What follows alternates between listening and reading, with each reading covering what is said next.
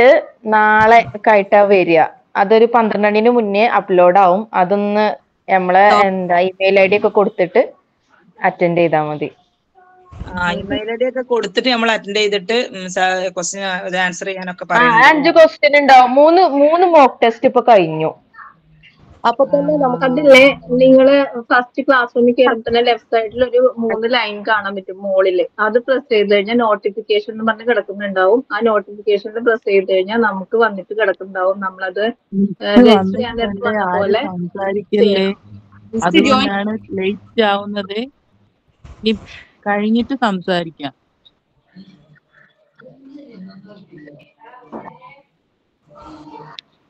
നമ്മളെ ഈ ബാച്ചിൽ നാപ്പത്തിരണ്ട് പേരല്ലേ ഉള്ളൂ? നാപ്പത്തെട്ടോ.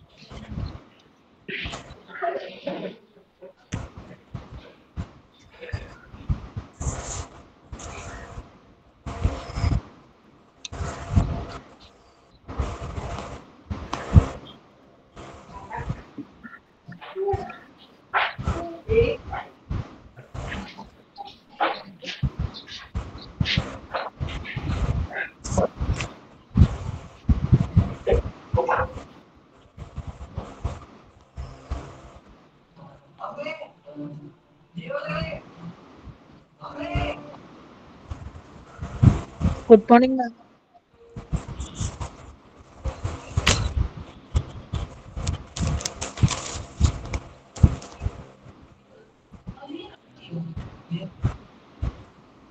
Good morning, ma'am. Good morning.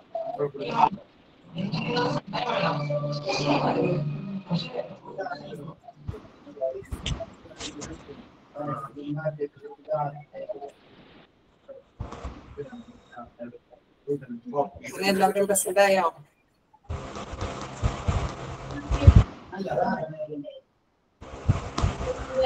നിങ്ങളുടെ കയ്യിൽ ഫ്രണ്ട് ഓഫീസ് ഡിപ്പാർട്ട്മെന്റ് വർക്കോടെ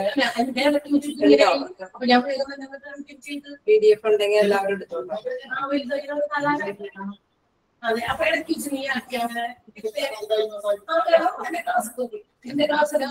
ഇടയ്ക്ക് പറയുന്നത് front office department work flow and അപ്പൊ നിങ്ങൾ എടുത്ത്? നിങ്ങൾ ചെയ്താൽ മതി? നോട്ട് എന്തായാലും മൊഡ്യൂൾസ് അയച്ചു തന്നിട്ടുണ്ട് നിങ്ങൾക്ക് ആവശ്യമുള്ള അതെടുത്തേച്ചാൽ മതി. ഇപ്പൊ നിങ്ങൾ ലോട്ട് കീപ്പ് ചെയ്യാം. എന്തായാലും ഇത് മാത്രമേ ഉള്ളൂ. അപ്പൊ നിങ്ങൾക്ക് എന്തെങ്കിലും റെഫർ ചെയ്യാനോ അതൊക്കെ അതിന് മുകളിൽ എഴുതിയിട്ടുണ്ടെങ്കിൽ ഞാൻ പറഞ്ഞത് നിങ്ങൾ അത് കയ്യിൽ എടുത്ത് വെച്ച് കഴിഞ്ഞാൽ ക്ലാസ്സിനോടൊപ്പം നമുക്കത് നോട്ടിലേക്ക് പോകാം. ഓക്കെ മിസ് മിസ്സിന്റെ പേരെന്താ? എന്റെ പേര് സോളി.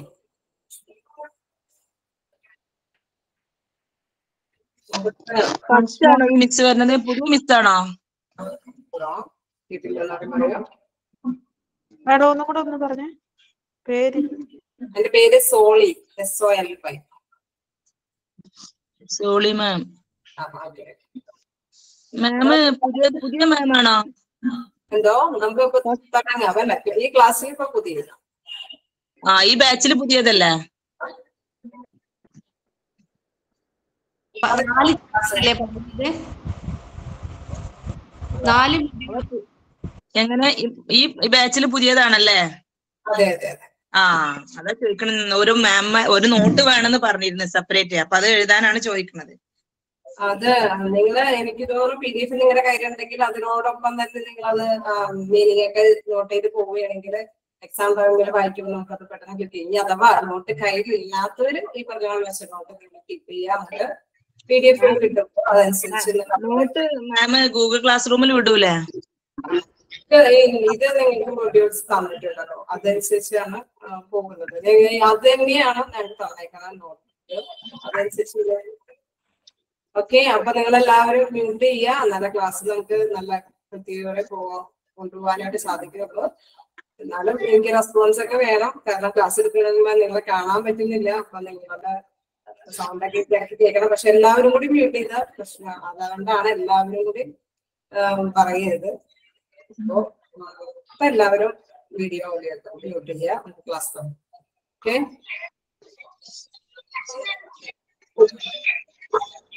അപ്പൊ നമ്മൾ ക്ലാസ്സിൽ പറയുന്നത് front office department work and functions അതാണ് അതിനെ കുറിച്ചിട്ടുള്ള ക്ലാസ് നമ്മൾ എടുക്കുന്നത്.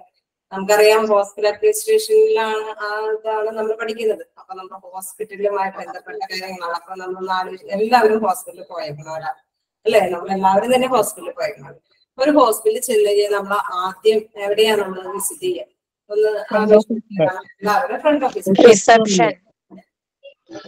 അപ്പോ ഈ ഫ്രണ്ട് ഓഫീസിൽ നമ്മൾ വിസിറ്റ് ചെയ്യുമ്പോൾ നമുക്ക് കുറെ ആഗ്രഹങ്ങളുണ്ട്. എന്താ അവർ നന്നായിട്ട് നമ്മളോട് മര്യാദയോട് പെരുമാറാം നമ്മൾ ചോദിക്കുന്ന കാര്യങ്ങൾക്കെല്ലാം അവർ കൃത്യമായി ആൻസർ തന്നോന്നായിരിക്കും ഏതൊരു പേഷ്യന്റിന്റെ ആവശ്യം അല്ലെ? ഏതൊരു പേഷ്യന്റ് ആണെങ്കിലും പേഷ്യന്റിനെ കൊണ്ടുവരാനായിട്ട് കൂടെയുള്ള വ്യക്തികളാണെങ്കിലും എല്ലാവർക്കും അത് തന്നെയായിരിക്കും ആഗ്രഹം. അപ്പൊ ആ വ്യക്തിക്ക് ഒരുപാട് ഗുണങ്ങൾ ഉണ്ടായിരിക്കണം അല്ലെ? കുറച്ച് ഗുണങ്ങളൊക്കെ ഒന്ന് ആരെങ്കിലും എന്ന് പറയണം എല്ലാവരോടും പറയരുത്. കുറച്ച് ആരെങ്കിലൊക്കെ ഒന്ന് ആ ഫ്രണ്ട് ഓഫീസിലുള്ള വ്യക്തിക്ക് എന്ത് ഗുണങ്ങളൊക്കെ ഉണ്ടാവണമെന്ന് പറഞ്ഞു നോക്കി സിമ്പതി എമ്പതി. സൗണ്ട് ഡിസ്റ്റർബ് ആവുന്നുണ്ടെന്ന് പറയുന്നുണ്ട്. അപ്പൊ നിങ്ങൾ പറയണ്ട കേട്ടോ. എല്ലാവരും മ്യൂട്ട് ചെയ്ത് തന്നെ വെച്ചോ. കാരണം സൗണ്ട് ഡിസ്റ്റർബ് ചെയ്ത് കഴിഞ്ഞാൽ നമുക്ക് എല്ലാവർക്കും പറയാൻ പറ്റില്ല. അതൊന്നും കേൾക്കാൻ പറ്റില്ല. അതുകൊണ്ട് നിങ്ങൾ എല്ലാവരും മ്യൂട്ട് ചെയ്യും ഞാൻ തന്നെ പറഞ്ഞോ ഓക്കെ? എല്ലാവരും മ്യൂട്ട് ചെയ്യുക. വീഡിയോ ഓഡിയോ മ്യൂട്ട് ചെയ്യുക. ഞാൻ ക്ലാസ് എടുക്കാം ഓക്കെ അപ്പോ അവിടെ നമ്മുടെ ഫ്രണ്ട് ഓഫീസിലുള്ള വ്യക്തിക്ക് ഒരുപാട് ഗുണങ്ങൾ വേണമെന്ന് നിങ്ങൾക്ക് തന്നെ അറിയാം. ഞാൻ പറയാതെ തന്നെ ആ വ്യക്തി എപ്പോഴും എല്ലാ എല്ലാ നോളജ് നമുക്ക് പറഞ്ഞു തരാൻ കേപ്പബിൾ ആയിരിക്കണം. അല്ലെ? ഹോസ്പിറ്റലിലുള്ള എല്ലാ ഡീറ്റെയിൽസിനെ കുറിച്ച് നോളജ് ഉണ്ടായിരിക്കണം.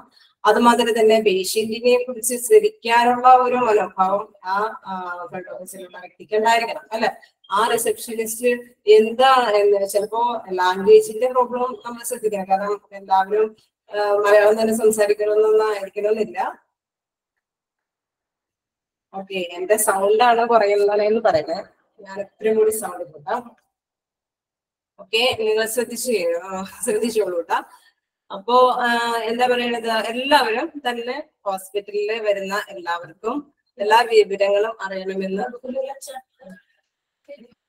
ഓക്കെ അപ്പോ എല്ലാവർക്കും തന്നെ നോളജ് കൊടുക്കത്തക്ക വിധത്തിലുള്ള ഒരു വ്യക്തിത്വമായിരിക്കണം ആ റിസപ്ഷനിസ്റ്റിന് ഉണ്ടായിരിക്കേണ്ടത്. എന്നാൽ മാത്രമേ നമുക്ക് ആ വ്യക്തി നല്ല ആ ഒരു റിസപ്ഷനിസ്റ്റ് ആണെന്ന് മനസ്സിലാക്കാനായിട്ട് സാധിക്കുള്ളൂ ഓക്കെ അപ്പോ നമുക്ക് ചാപ്റ്ററിലേക്ക് കിടക്കാം.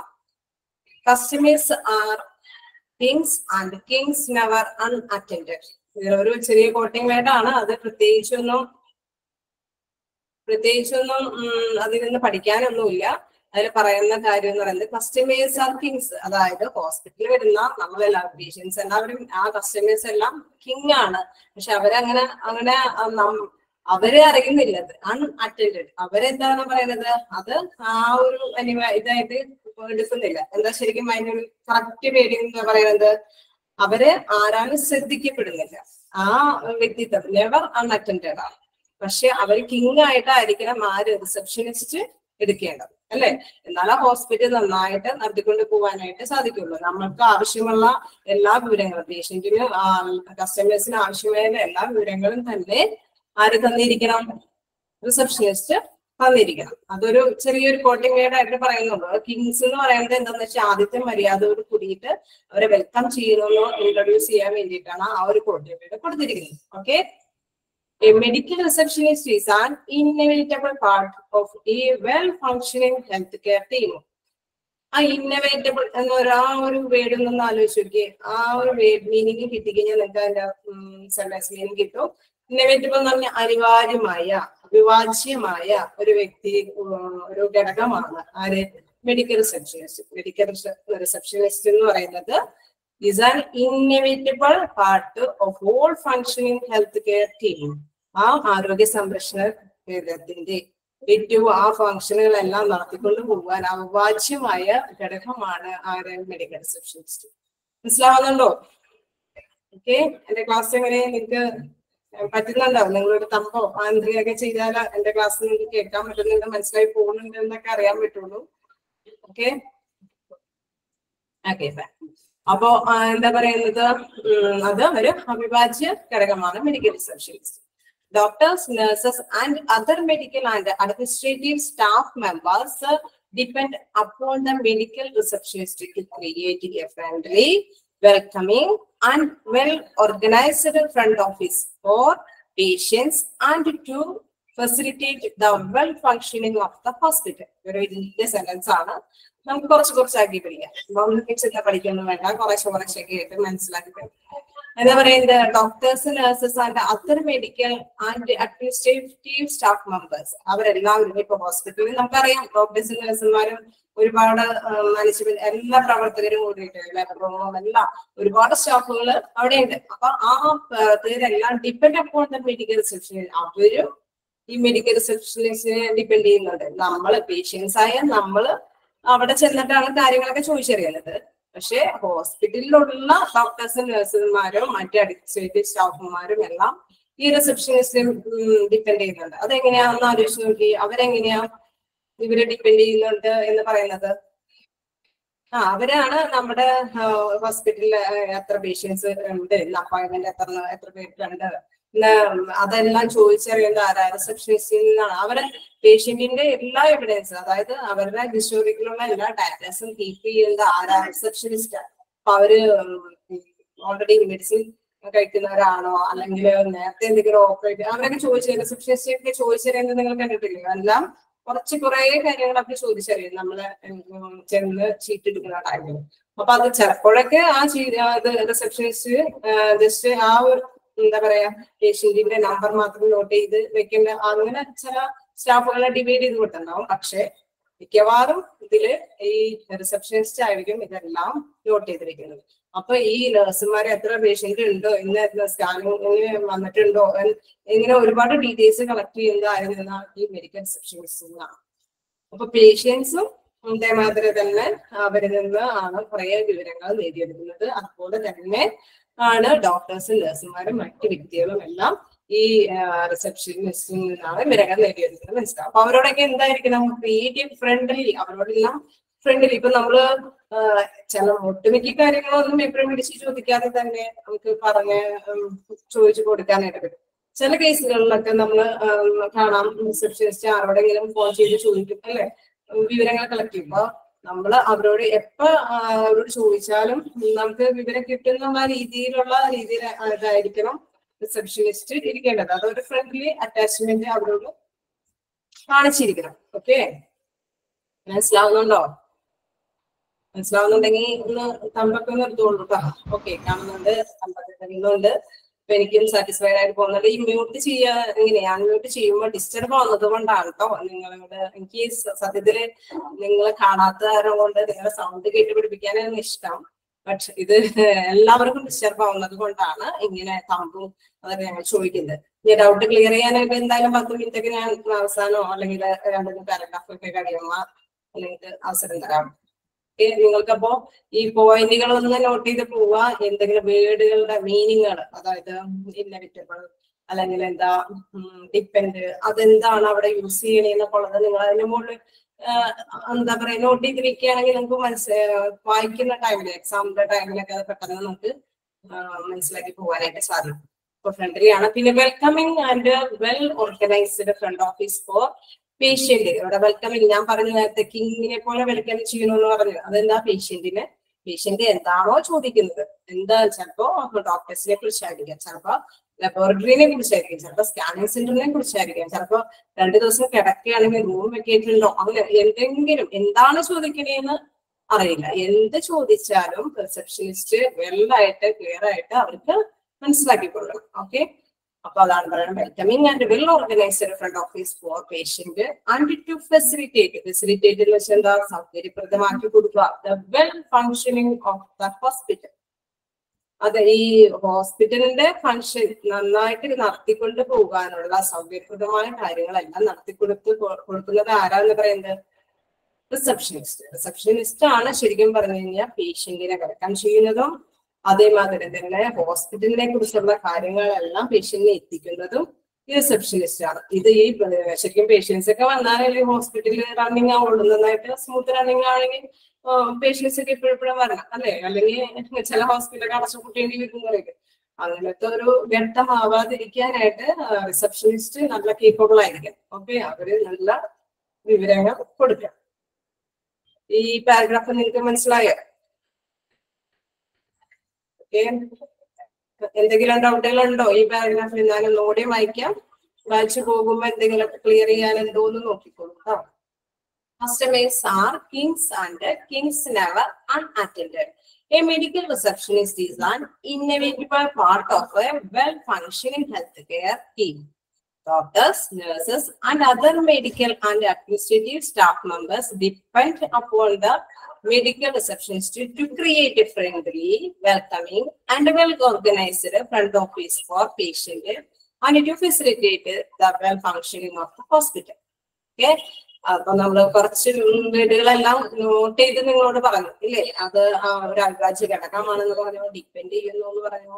ഡോക്ടേഴ്സ് ഒക്കെ അവരെ ഡിപ്പെൻഡ് ചെയ്യുന്നു. അത് ഫ്രണ്ട്ലി അറ്റ്മോസ്ഫിയർ ആണ് ക്രിയേറ്റ് ചെയ്യുന്നു എന്ന് പറഞ്ഞു. പിന്നെ നമ്മൾ പേഷ്യന്റിനെ വെൽക്കം ചെയ്യുന്ന കാര്യം പറഞ്ഞു.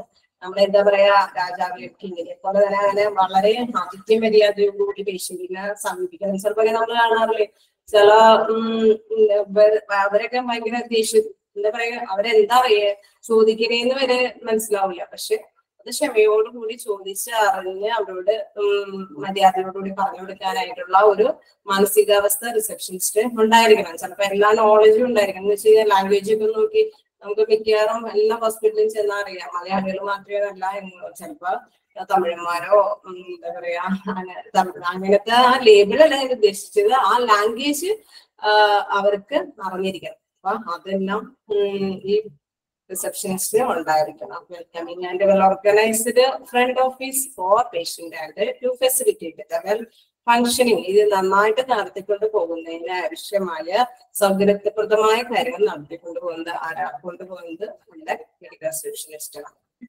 ഓക്കെ നമുക്ക് അടുത്ത ടോപ്പിക്കിലേക്ക് കിടക്കാം. നോക്കുന്ന വായിച്ചു നോക്കണോ? വായിച്ചിട്ട് മനസ്സിലാകുന്നില്ലേ?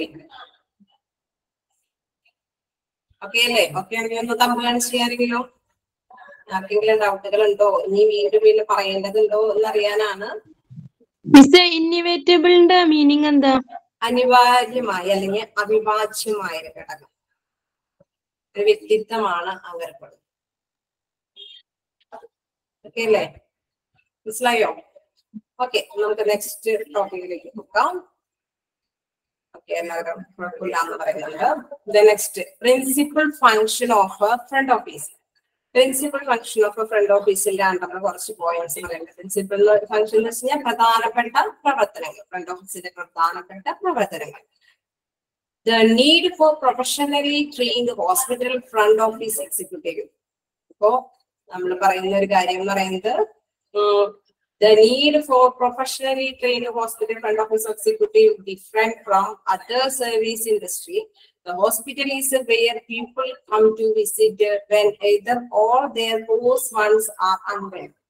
അപ്പോ ഇതിലും നിങ്ങൾ ഈ പാരഗ്രാഫിൽ കുറച്ച് കുറച്ച് വേർഡുകളാണ് ഞാൻ കൂടുതലായിട്ട് ഇംപ്രസ് ചെയ്ത് പറയുന്നത്. അതെന്താ കാരണം എന്ന് വെച്ച് കഴിഞ്ഞാൽ ആ വേർഡുകൾ നിങ്ങൾ ക്യാച്ച് ചെയ്ത് കഴിഞ്ഞാൽ നിങ്ങൾക്ക് അത്യാവശ്യം മനസ്സിലാവും. എക്സാമിന് ചോദിക്കുമ്പോഴും എന്തെങ്കിലുമൊക്കെ ഒന്ന് പൊള്ളിച്ച് പറയാനൊക്കെ ആയിട്ട് സാധിക്കും. അതുകൊണ്ടാണ് അതിലെ കുറച്ച് വേർഡ്സുകൾ നിങ്ങൾക്ക് പ്രത്യേകമായിട്ട് എടുത്ത് പറയുന്നത്.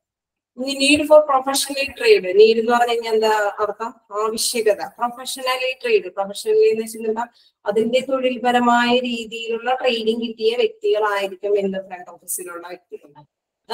തൊട്ടടുത്ത സെന്റൻസിൽ നിങ്ങളൊന്ന് ശ്രദ്ധിച്ചു നോക്കിയാൽ different from other service industry അതായത് മറ്റ് വ്യവസായ സ്ഥാപനങ്ങളിലുള്ള പോലെയുള്ള ഒരു വ്യക്തിയായിരിക്കും ഇത് എന്ത്?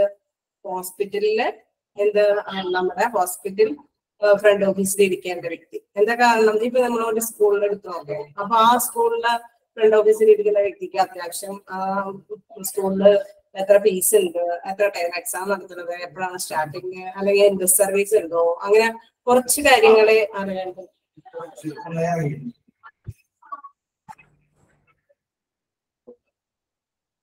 ഓക്കെ. അപ്പം അത്തരം കാര്യങ്ങളെ അത്തരം കാര്യങ്ങളെ അറിയേണ്ടത് ഉണ്ടാവുള്ളൂ അല്ലെ? അപ്പോ പക്ഷെ അതേസമയം നമ്മുടെ സ്കൂളിലെ പോലെയല്ല ഹോസ്പിറ്റലിൽ വരുന്നത്. ഹോസ്പിറ്റലിൽ എന്താ പ്രത്യേകത? ഹോസ്പിറ്റലിൽ വരുമ്പോ ആ ഫ്രണ്ട് ഓഫീസിൽ ഇരിക്കുന്ന വ്യക്തിക്ക് ഒരുപാട് കഴിവുകൾ വരാം. അദ്ദേഹം ആ വ്യക്തിക്ക് എന്ന് വെച്ച് കഴിഞ്ഞാൽ ലാംഗ്വേജ് മാത്രമല്ല അദ്ദേഹത്തിന് ഒരു എന്താ പറയാ ഒരു മറ്റുള്ളവരെ സമാധാനിപ്പിക്കാനുള്ള ഒരു മൈൻഡ് ഉണ്ടാവണം ശ്രമിക്കാനുള്ള ഒരു മൈൻഡ് ഉണ്ടാവണം. പിന്നെ എന്താ പറയാ കുറെ ഹോസ്പിറ്റലുമായി ബന്ധപ്പെട്ട കുറെ നോളജ് ഉണ്ടായിരിക്കണം ഡോക്ടേഴ്സിന് ചിലപ്പോൾ ഡോക്ടേഴ്സിന്റെ പേരുകൾ അല്ലെങ്കിൽ എവിടെയൊക്കെയാണ് ഈ ഡിപ്പാർട്ട്മെന്റൊക്കെ സ്ഥിതി ചെയ്യുന്നത്. അങ്ങനെ ഒരുപാട് ഒരുപാട് നോളജ് ഈ റിസപ്ഷനിസ്റ്റ് ഇരിക്കുന്ന വ്യക്തിക്കുണ്ടായിരുന്നു അതാണ് പറയുന്നത് different from other service industry മറ്റു ഇൻഡസ്ട്രിയിൽ നിന്ന് വ്യത്യസ്തമായ ഒരു പ്രൊഫഷണലി ട്രെയിൻഡ് പേഴ്സൺ ആയിരിക്കണം എവിടെയുള്ളത്? Office front office ഡിപ്പാർട്ട്മെന്റിലുള്ളത് the hospital is where people come to visit when either or their close ones are unwell.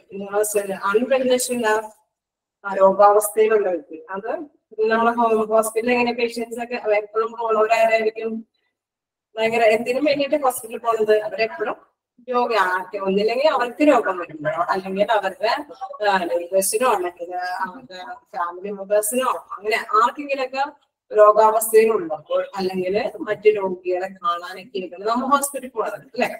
അപ്പൊ അവരെല്ലായ്പ്പോഴും ഒരുപാട് കാര്യങ്ങൾ ഈ ഹോസ്പിറ്റലിൽ ഇരിക്കുന്ന വ്യക്തികളോട് റിസപ്ഷനിസ്റ്റ് ഇരിക്കുന്ന വ്യക്തികളോട് ചോദിച്ചറിയും. അപ്പൊ അവർക്കെല്ലാം മനസ്സിലാവുന്ന രീതിയിൽ പറഞ്ഞു കൊടുക്കാനും ചിലപ്പോൾ ചിലവരോട് സമാധാനത്തോടെ പറഞ്ഞു കൊടുക്കേണ്ട കാര്യം. ചിലപ്പോൾ നമ്മൾ അവരുടെ ഇത് കേൾക്കുമ്പോൾ നമ്മൾക്കും ഫീലിങ്സ് വരും. കാരണം അത്രയ്ക്കും വിഷമം പിടിച്ച കാര്യങ്ങളൊക്കെ ആയിരിക്കും. അപ്പൊ നമ്മൾ അത് കൺട്രോൾ ചെയ്ത് നമുക്ക് വേറെ അടുത്ത ഡ്യൂട്ടി ഉണ്ട് നമുക്ക് ചിലപ്പോൾ അത് കേട്ട് അവരെ സമാധാനിപ്പിച്ച് മറ്റൊരാൾക്ക് ചിലപ്പോൾ വേറൊരു ഇൻഫോർമേഷൻ ആയിരിക്കും കൊടുക്കേണ്ടത്. അപ്പൊ എല്ലാത്തിലും ഒരു കേപ്പബിൾ ആയിട്ടുള്ള വ്യക്തിയായിരിക്കണം ആര്? റിസപ്ഷനിസ്റ്റ് ഇരിക്കുന്ന വ്യക്തി okay This makes the people comes to the hospital. This makes you comes to the hospital impatient, anxious and curious. അതുകൊണ്ടാണ് ഈ- പറഞ്ഞ മേഖല വെച്ചുകൊണ്ട് തന്നെയാണ് പറയുന്നത്. ഇത് people comes to hospital impatient ഇംപേഷ്യന്റിന്റെ അർത്ഥം എന്തൊക്കെ അവരത്രയും ഒരു ശാന്തരായിരിക്കില്ല. അവർ ചിലപ്പോ മനസ്സിന് ഒരു എന്താ പറയാ മനസ്സിന് വിഷമോ ഒരു ദേഷ്യം അതൊക്കെ ഉള്ള ഒരു മൈൻഡോടുകൂടി ആയിരിക്കും അവർ ചിലപ്പോൾ മെഡിസിൻ ഒക്കെ കഴിക്കുന്നവർക്കൊക്കെ പെട്ടെന്ന് ദേഷ്യം ചെയ്യാന്ന് പറയില്ലേ? അവർ എല്ലാ മെഡിസിൻ കണ്ടിന്യൂ ചെയ്യുക അതുകൊണ്ട് അപ്പൊ അത്തരം ഏത് വ്യക്തിയാണ് നമ്മുടെ മുന്നിൽ വരെയെന്ന് നമുക്ക് അറിയാൻ പാടില്ല അപ്പൊ നമ്മൾ ശ്രദ്ധിക്കണം. ആൻഷ്യസ് അവരെന്താ പറയുക ആൻഷ്യസ് ആയിരിക്കും. എന്ന് വെച്ചാൽ ഉത്കണ്ഠയുള്ളവരായിരിക്കും. എന്റെ എന്റെ ആ ഡോക്ടർ പരിശോധിച്ച് കഴിഞ്ഞാൽ രോഗം ഭേദമാവോ എന്താ പറയാ ചിലപ്പോ എക്സ്റേയിൽ എന്തായിരിക്കും? അങ്ങനെ ഓരോ ഒരു പല പല മൈൻഡ് ആയിരിക്കും അല്ലെ? വന്ന പേഷ്യൻസിനും അല്ലെങ്കിൽ ആ പേഷ്യന്റിന്റെ കൂടെയുള്ള വ്യക്തികൾക്കും വ്യത്യസ്തമായൊരു കാഴ്ചപ്പാടിലായിരിക്കും അവർ വരുന്നത് ക്യൂരിയസ് ക്യൂരിയസ് എന്ന് വെച്ചാൽ ഓരോ ആകാംക്ഷയായിരിക്കും. ചിലപ്പോ ഹോസ്പിറ്റലിൽ പോകുമ്പോ എന്തെങ്കിലും ഞാൻ കഴിഞ്ഞ ആഴ്ച ഹോസ്പിറ്റലിൽ പോയപ്പോ ബസ്സിലൊക്കെ പോയി നമ്മളെന്താ ഹോസ്പിറ്റലിൽ ചെല്ലുമ്പോ ഭയങ്കര ആകാംക്ഷ ഇത് ഒരു ഫാറ്റിന്റെ ഒരു പ്രോബ്ലം ആയിരുന്നു. പക്ഷെ നമ്മളുടെ മൈൻഡിൽ ഭയങ്കര ഒരു എക്സ്പെക്ടേഷൻ ആയിരുന്നു എന്തായിരിക്കും? ഭയങ്കര ടെൻഷൻ പക്ഷെ അവിടെ ചെന്ന് കഴിയുമ്പോഴാണ് അത് ഫാറ്റിന്റെ പ്രോബ്ലം വേറെ പ്രത്യേകിച്ചൊന്നുമില്ല അപ്പൊ അത് കേൾക്കുമ്പോ നമുക്ക് ഓക്കെ പക്ഷെ അതുവരേക്കും നമ്മുടെ മൈൻഡ് എന്താ? എന്തോ എന്തോ എന്തോ സംഭവം. അപ്പൊ ആ ഒരു വ്യക്തികൾക്ക് ഉണ്ടാകുന്ന ഒരു ഭാവഭേദങ്ങളാണ് ഞാൻ പറഞ്ഞത് ചിലര് ഭയങ്കര ദേഷ്യപ്പെടുന്നവരായിരിക്കും. ചിലര് മനസ്സിൽ എന്താ ആകാംക്ഷ നിറവേരായിരിക്കാം അല്ലെങ്കിൽ ചിലര് എപ്പോഴും സിമ്പതി എന്തെങ്കിലും ഒരു വിഷമം പറഞ്ഞുകൊണ്ട് വരുന്നവരായിരിക്കും. അപ്പൊ എല്ലാ തരത്തിലുള്ള വ്യക്തികളെയും ഹാൻഡിൽ ചെയ്യാൻ ആര് കേപ്പബിൾ ആയാലും ഈ ഫ്രണ്ട് ഓഫീസിലുള്ള വ്യക്തി കീപ്പബിൾ ആണ്. ഓക്കെ അപ്പൊ ആ വ്യക്തിക്ക് നല്ല എക്സ്പീരിയൻസ് പ്രൊഫഷണലി ട്രെയ്ഡ് പേഴ്സൺ ആയിരിക്കണം എന്നാണ് പറയുന്നത്. സാധാരണ ഫ്രണ്ട് ഓഫീസിലുള്ള വ്യക്തിയിൽ നിന്ന് വ്യത്യസ്തമായിട്ട് ഇവ ഫ്രണ്ട് ഓഫീസിൽ ഇരിക്കുന്ന വ്യക്തി നല്ല പ്രൊഫഷണലി ട്രെയ്ഡ് പേഴ്സൺ ആയിരിക്കും Here comes the importance or necessity of handling such patients or their family members. With more professionalism ആ വീട് തന്നെയാണ് റിപ്പീറ്റ് ചെയ്ത് പറയുന്നത്. മോളിൽ കണ്ട ഫോർ പ്രൊഫഷണലി എന്ന് പറയുന്ന വീടിനെ തന്നെയാണ് റിപ്പീറ്റ് ചെയ്ത് ഇവിടെ പറയുന്നത്. ഈ പേഷ്യന്റിനെ ഈ പേഷ്യന്റിനെ അല്ലെങ്കിൽ ഫാമിലി മെമ്പേഴ്സിനെ നമ്മൾ ഹാൻഡിൽ ചെയ്യാനായിട്ട് നമ്മൾ പ്രൊഫഷണലി ട്രെയ്ഡ് ആയിരിക്കണം മനസ്സിലായില്ലേ? പ്രൊഫഷണലി ട്രെയ്ഡ് എന്ന ഉദ്ദേശം ആ മീനിങ് വേരിന്റെ മീനിങ് മനസ്സിലായില്ലേ? ഓക്കെ ഓക്കെ അല്ലേ? വീണ്ടും പറയണോ? ഞാൻ പ്രൊഫഷണലി ട്രെയിൻഡ് ഓക്കെ എല്ലാവരും വരയ്ക്കുന്നുണ്ട് അപ്പൊ ഓക്കെ അപ്പൊ നോക്കിയേ ആ പാരഗ്രാഫിൽ പറയുന്നത് ഈ പേഴ്സൺ ഉണ്ടായിരിക്കേണ്ട കുറെ ഈ ഓഫീസ് അഡ്മിനിസ്ട്രേഷനിൽ ഇരിക്കുന്ന ഫ്രണ്ട് ഓഫീസിൽ ഇരിക്കുന്ന വ്യക്തിക്ക് ഉണ്ടായിരിക്കേണ്ട ഒരു ഗുണങ്ങളെ കുറിച്ചാണ് പറഞ്ഞത്. ഇനി അടുത്ത സെന്റൻസ് നോക്കാം. ആ ഇനി വീണ്ടും അതിനോടൊപ്പം തന്നെ വരുന്നുണ്ട്. Professionalism sympathy empathy and courtesy following all hospital operational protocols ഇപ്പൊ ഇവിടെ എന്താ പറയുന്നത്? സിമ്പതിയും എമ്പതിയും എന്നൊക്കെ പറഞ്ഞ് കുറെ ഒരു വീട് ഒരു നാച്ചുറലി അതൊരു സ്ലാങ് വീട് പോലെയല്ല. എന്നുവെച്ചാൽ ക്ഷമ വേണം ദയ വേണം കാരുണ്യം വേണം അല്ലെങ്കിൽ കാട്ടസി എന്നൊക്കെ പറയുന്നത് കെട്ടസി എന്ന് പറയുന്നത് ഉദ്ദേശിക്കുന്നത് വിനയം വേണം. അല്ലെ? വിനയത്തോടും സംസാരിക്കണം സംസാരിക്കേണ്ടത്. അപ്പൊ അങ്ങനെ കുറെ അങ്ങനത്തെ ഗുണങ്ങളെല്ലാം ആർക്കുണ്ടായിരിക്കണം റിസപ്ഷനിസ്റ്റ് ഉണ്ടായിരിക്കണം following all hospital operation protocols ഇതെല്ലാം പക്ഷേ ഓപ്പറേഷൻ ഈ ഹോസ്പിറ്റലിന്റെ പ്രോട്ടോകോൾ അനുസരിച്ച് നടത്തിക്കൊണ്ട് പോകാൻ പറ്റുള്ളൂ. ഹോസ്പിറ്റലിൽ ഒരു പ്രോട്ടോകോൾ ഉണ്ട്. അവരെ സമാധാനിപ്പിച്ച് അവരെ മാത്രം കെയർ ചെയ്ത് ഒരു പേഷ്യന്റ് വന്നു അവരെ മാത്രം സമാധാനിപ്പിച്ച് അവരെ കെയർ ചെയ്ത് അവരെ ഗുണമൊക്കെ കസരം വിരുത്തി അവരെ സമാധാനിപ്പിച്ച് മാത്രം അവരുടെ ഡ്യൂട്ടി തീരുവോ ഇല്ല അവരവിടെ ആ ചെയ്യണം. അതിന്റെ അപ്പുറത്ത് കുറെ കുറെ ഇൻഫോർമേഷൻസ് കളക്ട് ചെയ്ത് കൊടുക്കേണ്ട വ്യക്തികളുണ്ടെങ്കിൽ അവർക്ക് ആ ഇൻഫോർമേഷൻസ് കൊടുക്കണം അപ്പൊ ഹോസ്പിറ്റലിന്റെ ഓപ്പറേഷൻ പ്രോട്ടോകോൾ അനുസരിച്ച് ഇതെല്ലാം കൂടെയും ഒന്നിച്ച് ഹാൻഡിൽ ചെയ്യാനുള്ള ഒരു കഴിവ് ആർക്കുണ്ടായിരിക്കണം ഹെൽത്ത് ഓഫീസിലുള്ള വ്യക്തിക്ക് ഉണ്ടായിരിക്കണം.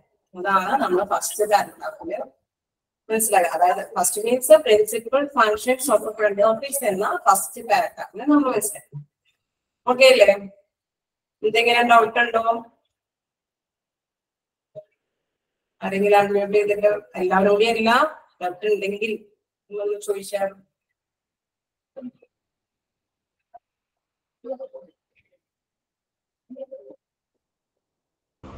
മനസ്സിലായിട്ടുണ്ട് മിസ്സേ മനസ്സിലായിട്ടുണ്ട് ഓക്കെ നമുക്ക് ചെയ്തോളൂ അപ്പൊ ഈ പാരഗ്രാഫ് നിങ്ങൾക്ക് മനസ്സിലായി.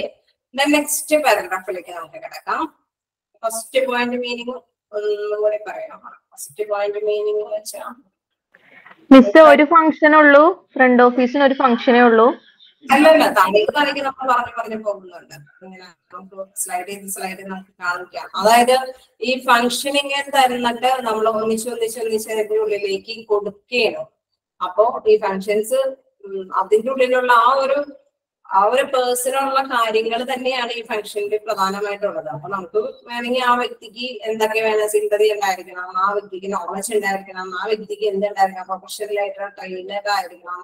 അങ്ങനെ നമുക്ക് കുറഞ്ഞു കുഞ്ഞു കുഞ്ഞു കുഞ്ഞു ഇതായിട്ട് നമുക്ക് തിരിക്കാം. ഈ വൺ ഒരു ടോപ്പിക് ആയിട്ടുള്ളത് പ്രിൻസിപ്പൽ ഫങ്ഷൻ എന്ന് പറയുന്നത് പ്രധാനപ്പെട്ട ഫംഗ്ഷൻ ആ പ്രധാനപ്പെട്ട ഫംഗ്ഷൻ മാത്രമേ നമുക്ക് പഠിക്കേണ്ടതുള്ളൂ. ഇതിലുള്ളത് മാത്രമേ ചോദിക്കുള്ളൂ കേട്ടോ. പുറത്തുനിന്നൊന്നും പ്രത്യേകിച്ച് ഒന്നും ചോദിക്കില്ല. ഇതിന്റെ ഉള്ളിലുള്ളത് തന്നെയാണ് നമുക്ക് ക്വസ്റ്റ്യൻ ആയിട്ട് ചോദിക്കുള്ളൂ.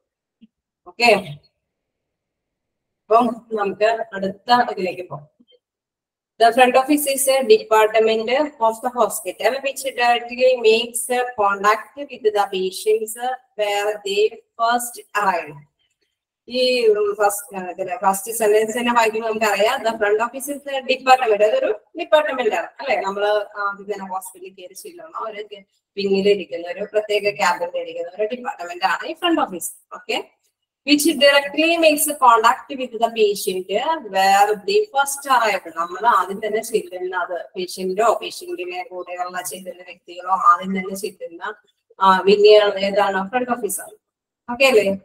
നമുക്ക് എല്ലാവർക്കും അറിയാവുന്ന കാര്യമാണ്. ഫ്രണ്ട് ഓഫീസിൽ പോയാണ് നമ്മൾ കാര്യങ്ങളെല്ലാം ചോദിച്ചറിയാം the staffs of this department are directly family members ഇതിന്റെ ഇവിടുത്തെ സ്റ്റാഫുകൾ എന്തായിരിക്കണം? ഈ ഡിപ്പാർട്ട്മെന്റിലുള്ള സ്റ്റാഫുകളെല്ലാം ഡയറക്ട്ലി ഫാമിലി മെമ്പേഴ്സ് ആയിരിക്കും. എന്താണ് ഫാമിലി മെമ്പേഴ്സ് എന്ന് പറയുന്നത്? ഫാമിലി മെമ്പേഴ്സ് എന്ന് പറയുന്നത് അവരോട് നമ്മൾ അറ്റാച്ച്മെന്റ് കൂടുതൽ അറ്റാച്ച് ചെയ്യുന്ന ഒരു വ്യക്തിത്വമായിരിക്കണം staffs of this department are directly family members നമ്മൾ വരുന്ന പേഷ്യന്റിനോട് അവരെ ചോദിച്ച് അവരുടെ വിവരങ്ങളെല്ലാം കളക്ട് ചെയ്ത് ഇൻഫോർമേഷൻസ് ഒക്കെ കീപ്പ് ചെയ്യുമ്പോൾ ഒരു ഫാമിലി അറ്റാച്ച്മെന്റ് നമ്മൾ അവരായിട്ട് കൊടുക്കണം. അല്ലെ? എന്താ പേര് എന്താ വയസ്സ് ഈ എവിഡൻസ് ഒക്കെ നമ്മൾ കളക്ട് ചെയ്യുമ്പോഴും അവർക്ക് നമ്മൾ എന്താ പറയാ ഹോസ്പിറ്റലിനെ കുറിച്ചുള്ള ഡീറ്റെയിൽസും അവർ അതിനോടൊപ്പം ചോദിക്കുന്നുണ്ടോ. അപ്പൊ ആ കാര്യം കൂടി ഫാമിലി മെമ്പർ ആയിട്ടാണ് നമ്മൾ കുഴപ്പമില്ല. ഈ ഡോക്ടർ നല്ലതാണോ പ്രശ്നം ഉണ്ടാവില്ലേ മെഡിസിൻസ് ഒക്കെ ഇത് ചെയ്യാറുണ്ട്. രണ്ടു ദിവസം കിടക്കേണ്ട വരാറുള്ളൂ. അങ്ങനെ ചിലപ്പോഴൊക്കെ അങ്ങനെ നമുക്ക് എപ്പോ വേണമെങ്കിലും നമുക്ക് വിളിക്കാം. അങ്ങനെ നമ്മൾ ഒരു ഫാമിലി അറ്റാച്ച്മെന്റോടായിരിക്കണം ഈ എന്താ പേഷ്യൻസിനോട് സംസാരിക്കാൻ ഇവരെ ചെയ്യേണ്ടത്. അതുകൊണ്ട് the staff of this department are directly family members it functions as a central point of contact the organisation arrow unmute ചെയ്തിട്ടുണ്ട്. ഒന്ന് മ്യൂട്ട് ചെയ്യാം. മറ്റെല്ലാവർക്കും ഡിസ്റ്റർബ് ആവും. അവർക്ക് ആർക്കും ക്ലിയർ ആവില്ല അൺമ്യൂട്ട് ചെയ്ത ആളൊന്ന് ഓഫ് ചെയ്ത് കൂട്ടോ ഓക്കെ ഓക്കെ കാരണം അതെ ആരെങ്കിലും ഒരാൾ അൺമ്യൂട്ട് ചെയ്യുമ്പോഴോ എല്ലാവർക്കും അത് ക്ലിയർ ആവില്ല. അതുകൊണ്ടാണ് ഇടയ്ക്കൊക്കെ ചോദിക്കുമ്പോൾ നിങ്ങൾ അൺമ്യൂട്ട് സംസാരിച്ചു കുഴപ്പമില്ല. അതേസമയം നമ്മൾ ക്ലാസ് എടുക്കുന്നതിനൊപ്പം ആരെങ്കിലൊക്കെ അൺമ്യൂട്ട് ചെയ്താലുള്ള പ്രോഗ്രാം മറ്റാർക്കൊന്നും ക്ലിയർ ആവില്ല അതുകൊണ്ടാണ്. ഓക്കെ അപ്പൊ നമ്മളിപ്പോ എന്താ പറഞ്ഞു വന്നത്? ഒരു central point of contact the organisation ഞാനിപ്പോ അതിനെ എടുത്തു പറയുന്ന ഒരു പേര് പറയുന്ന ഒരു സെൻട്രൽ സെൻട്രൽ പോയിന്റ് എന്ന് പറയുന്നത് ഇതിന്റെ ആ ഒരു എക്രോസ് ഓർഗനൈസേഷനും പേഷ്യന്റും തമ്മിലൊരു ഒരു സെൻട്രലായിട്ട് നിൽക്കുന്ന ഒരു ഘടകം ഇതാണ് ആര്? ആര്? റിസപ്ഷനിസ്റ്റ് മനസ്സിലായത് അതായത് സെൻട്രലായിട്ട് നിൽക്കുന്നു എന്ന് പറയുന്നത് എന്തുകൊണ്ടാണ് ഇവരിൽ നിന്ന് ഈ പേഷ്യന്റിന്റെ ഇതുകൾ അനുസരിച്ചാണ് ഡോക്ടേഴ്സിനും എന്താ പറയാ എല്ലാവരും സ്കാനുകൾ എക്സ്റേക്ക് പോകുന്നുണ്ടാവും ഇപ്പൊ ചിലപ്പോ ആഴ്ചയിലെ വീക്കിൽ എന്തൊക്കെ വന്നുകൊണ്ടായിരിക്കും ചിലപ്പോ റേഡിയേഷനും അല്ലെങ്കിൽ ഡയാലിസിസ് ഒക്കെ നടക്കുന്നവര് അങ്ങനെയൊക്കെ ഉണ്ട്. അപ്പൊ നമ്മൾ ഇവരിൽ നിന്ന് കളക്ട് ചെയ്യുന്ന ഡാറ്റാസ് ഒക്കെ വെച്ചിട്ടായിരിക്കും അവർക്ക് കൊടുക്കുക. അപ്പൊ അവരും ഇത് ഈ എത്രത്തോളം ഉണ്ട് എന്നൊക്കെ മനസ്സിലാക്കുന്നത് ഈ കൊടുക്കുന്ന നമ്മളുടെ എൻക്വയറിയിൽ കൊടുക്കുന്ന അല്ലെങ്കിൽ ഇൻഫോർമേഷന്റെ ബേസ് വരിക. അപ്പൊ അതുകൊണ്ടാണ് ഇതൊരു സെൻട്രൽ പോയിന്റ് ആയിട്ട് പ്രവർത്തിക്കുന്നു എന്ന് പറയുന്നത് ഓക്കെ പേഷ്യന്റിന് എന്തൊക്കെ വിവരങ്ങൾ കൊടുക്കാൻ പറ്റുന്നോ അതെല്ലാം പേഷ്യന്റിന് കൊടുക്കുകയും ചെയ്യുന്നു. ഒപ്പം തന്നെ ഓർഗനൈസേഷനിലെ മറ്റ് ഡിപ്പാർട്ട്മെന്റ്സിലോ എല്ലാവർക്കും കൊടുക്കുന്ന വിവരങ്ങൾ ആരാ? റിസപ്ഷനിസ്റ്റിന്റെ പൈതിൽ നിന്നാണ് ആ ഒരു ഡാറ്റ ഫയലിൽ നിന്നാണ് ഇൻഫോർമേഷൻസ് ഒക്കെ പോണത്. അതുകൊണ്ടാണ് അവരുടെ central point contact across the organisation എന്ന് പറയുന്നത്. ഓക്കെ ക്ലിയർ അല്ലേ? The department maintain information and records of all the patients of the hospital. Department maintains informations. ഞാൻ നേരത്തെ പറഞ്ഞ കാര്യം തന്നെയാണ്. Informations records of all the patients of the hospital patient വന്ന എല്ലാ പേഷ്യന്റിന്റെയും എല്ലാ ഇൻഫോർമേഷൻസും ഇൻഫോർമേഷൻസ് എന്ന് വെച്ചാൽ എന്താണ്? അവരുടെ അവരുമായി ബന്ധപ്പെട്ട ഡീറ്റെയിൽസുകൾ അല്ലെ? അവരുമായി ബന്ധപ്പെട്ട എല്ലാ രേഖകളും അവരുടെ ഏജ് എത്രയാണോ അവരുടെ പേരെത്രയാണ് എവിടെയാണ് നാട് ഫോൺ നമ്പർ എഴുതാണ് അവർ നേരത്തെ മെഡിസിൻ എഴുതുന്നവരാണോ. അല്ലെങ്കിൽ ഡോക്ടേഴ്സിന് രണ്ടാമത് പുതിയതാണോ? പുതിയതായിട്ട് ചീറ്റ് എടുക്കുന്നവരാണോ? അഡ്വാൻസ് നേരത്തെ വന്നുകൊണ്ടിരിക്കുന്നവരാണോ? അങ്ങനെ ഒരുപാട് ഇൻഫോർമേഷൻസ് കളക്ട് ചെയ്യാറുണ്ട്. അല്ലെ? ആ ഇൻഫോർമേഷൻസ് പേഷ്യന്റിന്റെ എല്ലാം കളക്ട് ചെയ്യുന്ന വ്യക്തികളാരാണ് റിസപ്ഷനിസ്റ്റ് ആണ്. It also plays an important role in improving overall impression of the services provided by the organization. അപ്പൊ നമുക്ക് മനസ്സിലായി ഈ പേഷ്യന്റിന് ശരിക്കും പറഞ്ഞു കഴിഞ്ഞാൽ ഇവിടെ എന്താ പറയുക എല്ലാ ഡീറ്റെയിൽസും കൊടുക്കുന്നത് ആരാ? ഈ സ്റ്റാഫാണ് അല്ലെ? റിസപ്ഷനിസ്റ്റ് ആണ്. അപ്പൊ ഈ ഹോസ്പിറ്റലിന്റെ ഒരു ബെറ്റർ റണ്ണിങ് ആണ് എന്നുള്ള ഒരു നല്ലൊരു ഇംപ്രഷൻ കൊടുക്കുന്നത്. ഹോസ്പിറ്റൽ നന്നായി നടത്തിക്കൊണ്ടു പോകുന്ന ഒരു സ്ഥാപനമാണ് എന്നുള്ള ഇൻഫോർമേഷൻസ് കൊടുക്കുന്ന വ്യക്തി ആരാണ്? റിസപ്ഷനിസ്റ്റ് ആണ്. ശരിയോ? അപ്പോ അതുകൊണ്ടാണ് പറയുന്നത് better overall impressions of the service provided by the organisation clear അല്ലേ? ഒന്നുകൂടി വായിക്കാം. അപ്പൊ ആ വേർഡുകളൊക്കെ ഒന്നുകൂടി ക്യാച്ച് ചെയ്ത് നോക്കാം. The front office is a department of the hospital which directly make contact with the patient where they first arrive first arrive ചെയ്യും വരുന്നത്. വരുന്ന ഒരു department the staff of this department are directory family members അവരെന്തായിരിക്കും എന്ന് പറയുന്നത്? ഈ ഇവിടുത്തെ staff family members ആയിരിക്കും. അവരെ ഫാമിലിയിലേക്ക് ഫാമിലിയോട് അത്രയും കണക്റ്റബിൾ ആയിട്ടാണ് നമ്മൾ വിവരങ്ങൾ കൈമാറുന്നത്. അവരെ സമാധാനിപ്പിക്കേണ്ടതുണ്ടെങ്കിൽ സമാധാനിപ്പിക്കാം. അവർക്ക് കൂടുതൽ വിവരങ്ങൾ നൽകേണ്ടതുണ്ടെങ്കിൽ വിവരങ്ങൾ നൽകുക. ഡോക്ടേഴ്സിന്റെ പേരുകളോ അല്ലെങ്കിൽ റൂംസ് എന്ത് അവർ ചോദിക്കുന്നതെല്ലാം ഒരു ഫാമിലി മെമ്പർ എന്ന രീതിയിൽ നമ്മൾ കൊടുക്കണം. Okay it functions as a central point of contact across the organization. It functions as a central point ഞാൻ പറഞ്ഞു സെൻട്രൽ പോയിന്റ് എന്ന് പറയാൻ കാരണം എന്താണെന്ന് പറഞ്ഞു? ഇവരിൽ നിന്നുള്ള ഇവിടെ ഇൻഫോർമേഷൻസും എല്ലാം കളക്ട് ചെയ്തിട്ടാണ് എന്ത് ഓഫീസ് ഹോസ്പിറ്റലിലെ മറ്റ് ഡിപ്പാർട്ട്മെന്റുകളിലേക്ക് വിവരങ്ങൾ പാസ് ചെയ്യുന്നത് അല്ലെ? അപ്പോ അവർ ഒരു സെൻട്രൽ പോയിന്റ് വിങ് ആയിട്ടാണ് പ്രവർത്തിക്കുന്നത്. The department maintains information and records of all the patients of the hospital. എല്ലാ പേഷ്യന്റിന്റെയും ഏത് റെക്കോർഡ്സ് നമ്മൾ കുറച്ച് നാൾ കഴിഞ്ഞിട്ടാണ് നമ്മൾ വന്നിട്ട് എന്തെങ്കിലും ചോദിക്കുകയാണെങ്കിലും കുറെ ആ റെക്കോർഡ്സ് ഒക്കെ അവിടെ ഉണ്ടാവും അല്ലെ? നമ്മുടെ ഡീറ്റെയിൽസ് എല്ലാം അവിടെ ഉണ്ടാവും നമ്മൾ ചീട്ടെടുക്കാൻ പോകുമ്പോൾ എത്രയോ നാളുകൾ മുമ്പുള്ള നമ്മുടെ ഒ പി ഒപ്പിറ്റി കൊണ്ടാണ് ചെയ്യുന്നത്. അപ്പൊ അവരവിടെ ചെന്ന് നോക്കുമ്പോൾ തന്നെ അത് ഓൾറെഡി വരും. ആ ഡീറ്റെയിൽസ് എല്ലാം അവിടെ ഉണ്ടായിരിക്കും. അത് സൂക്ഷിച്ചിരിക്കും.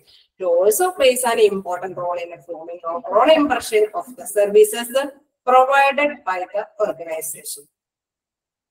അപ്പൊ നേരത്തെ പറഞ്ഞ മാതിരി ഓർഗനൈസേഷന്റെ എല്ലാ ഇൻഫോർമേഷൻസും അതിന്റെ ആ ഹോസ്പിറ്റലിന്റെ നടത്തിപ്പുമായ എല്ലാ എല്ലാ കാര്യങ്ങളും പേഷ്യൻസിനെ അറിയിക്കുന്ന ഒരു പ്രധാനപ്പെട്ട ഒരു വിങ് ആണ് എന്ത് ഫ്രണ്ട് ക്ലിയർ അല്ലേ?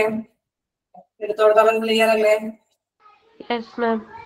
Yes ma'am continue ചെയ്യാറോ okay the next paragraph the front desk position is often the first person that patient or their well wishers inter interact while contacting with the hospital എന്താ പറയുന്നത് the front desk position is often the first person that patient or their well wishers നമ്മളെപ്പോഴും ചില morning ma'am എന്നൊക്കെ പറഞ്ഞതുകൊണ്ട് അല്ലെ? അവർ നമ്മളെ welcome ചെയ്യാറുണ്ട്. അത് അവരുമായിട്ടുള്ള ഒരു നമ്മൾ എന്താ പറയാ ഇന്ററാക്ട് ഒരു അവർ ഹോസ്പിറ്റലിലെ വ്യക്തികളുമായിട്ട് ഇടപെടുമ്പോഴുണ്ടാവുന്ന ഒരു നല്ല ആതിഥ്യ മര്യാദ എന്ന് പറയുന്നത് അല്ലെ?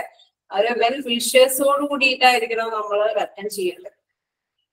അത് നമുക്ക് എല്ലാവർക്കും അറിയാം ഹോസ്പിറ്റലിൽ ഹോസ്പിറ്റലിൽ മാത്രമല്ല എവിടെയാണെങ്കിലും ഫ്രണ്ട് ഓഫീസിലിരിക്കുന്നവർ അവിടെ നല്ല ചെയ്യാൻ നല്ല വിഷ്വൽസ് ആയിട്ടായിരിക്കും നമുക്ക് തരുന്നത് So they are essentially the face and voice of the hospital and for this reason they play an important role in the representing the organization. ഇവർ പറയുന്നത് അവിടെ നോട്ട് ചെയ്യേണ്ട ഒരു പോയിന്റാണ് ഫേസ് ആൻഡ് വോയിസ് നമ്മൾ എന്താ പറയാ? ഉം, അവർ പറയുമ്പോൾ നമ്മുടെ ഉം, മൊ- മുഖം ഒന്ന് ചിലപ്പോ മുഖം ഒന്ന് കാണിച്ചൊന്നും നമുക്ക് വിഷ് ചെയ്യാൻ ചിലപ്പോ പറ്റിയതല്ല. എന്നാലും നമ്മുടെ മു- മുഖത്തിനൊരു പ്ലസന്റ് ഇതിലായിരിക്കും നമ്മൾ എപ്പോഴും ചെയ്യുക ഈ ഫ്രണ്ട് ഓഫീസിൽ അല്ലെങ്കിൽ അവർ ചെറുപ്പം ചിലപ്പോൾ പറഞ്ഞുകൊണ്ട് ഇങ്ങനെ പോയിക്കൊണ്ടിരിക്കും നമ്മൾ പറയോ അത് വെറുതെ ഫോമാറ്റിക്ക് കാണിച്ചു പോകുന്നത് പറയും. അല്ലേ? നമ്മൾ ഹോസ്പിറ്റലിലേക്ക് അട്രാക്ട് ചെയ്യണമെങ്കിൽ എന്ത് ചെയ്യും? നമ്മൾ എന്തായിരിക്കും? നമ്മുടെ ഫേസും വോയിസും അവരെ ഒന്ന് വെൽക്കം ചെയ്യുന്ന രീതിയിലായിരിക്കും.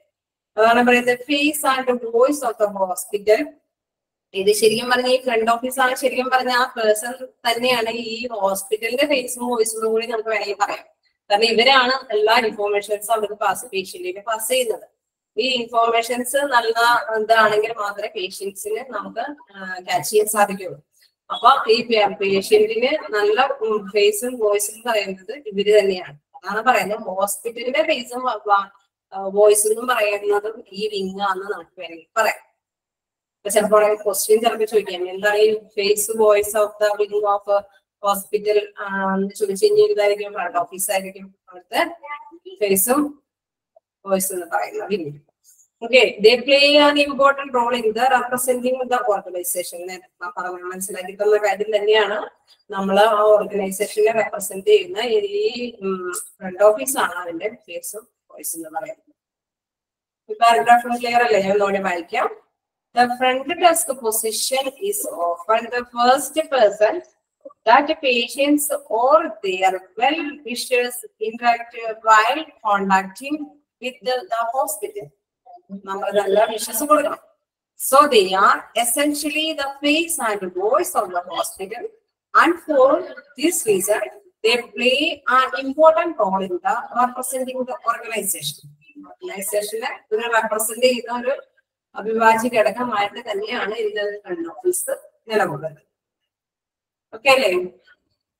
നമ്മുടെ ഈ ഫസ്റ്റ് ഈ ടോപ്പിക്ക് മനസ്സിലാവുന്നുണ്ടോ? അല്ലേ? ക്ലിയർ ആയിട്ട് തന്നെ പോകുന്നില്ലേ?